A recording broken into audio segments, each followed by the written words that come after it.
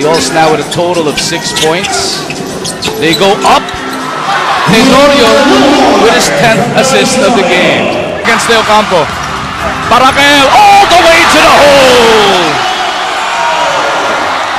Pag yung sinasabi natin, the other guys have to contribute off Attacking Meyerhofer. Now tapikan ng bola. It's a three on one.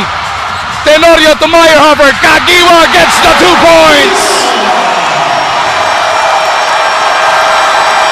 Ang laki ng tropa. Anong ginawa ng Ginebra? Tinakbuhan sila. Timeout muna para kina Coach Norman Black. Take a look at the last couple of sequences, Jason. Ito yung binabanggit mo. Meyerhofer getting that board. Barakael contributing the two points.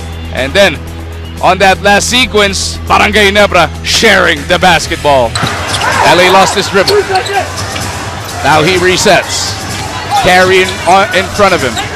Taranga L pulls the trigger. Bang!